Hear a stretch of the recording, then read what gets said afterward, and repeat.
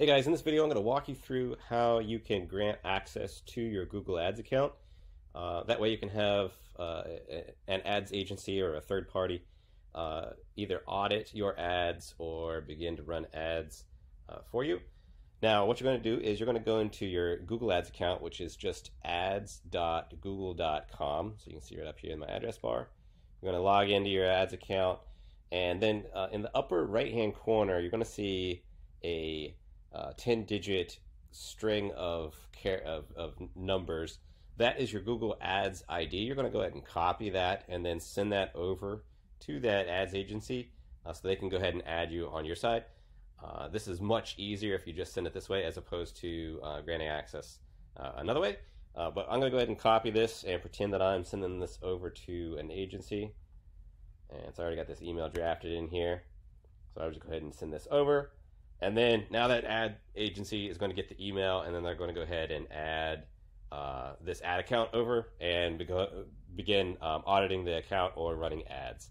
So I'm going to go ahead and pause the video really quickly and accept it on the other side, get them added, and then I'm going to show you the next step if you're the client.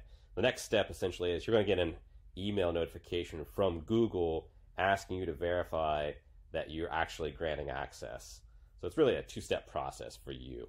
So, okay. I'm to go ahead and pause this. Be right back.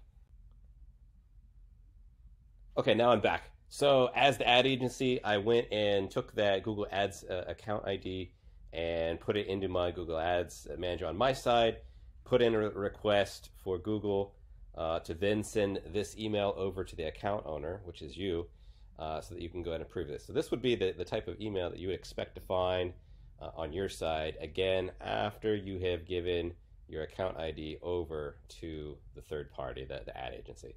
So uh, once you get this email and you confirm that this is the right email address for the uh, agency that you're working with, then you go ahead and click on accept request. And this just opens up Google Ads again. And then now once that's approved, now you can see up here that the ad agency uh, now has access to your Google Ads. Now, if you ever decide at some point that you need to uh, remove them from your ads account, you can simply go in here into managers uh, and then go ahead and um, remove them. So I'm going to go ahead and click on accept because I've got to actually accept this. This is important that you, that you actually accept this, but uh, once you've granted that access, you can go in here and remove their access right here um, under the, the managers section for Google Ads account under access and security, uh, which you can access from right up here under Tools and Settings. Setup, Access and Security, Managers, and then remove access. All right, let me know if you have any questions.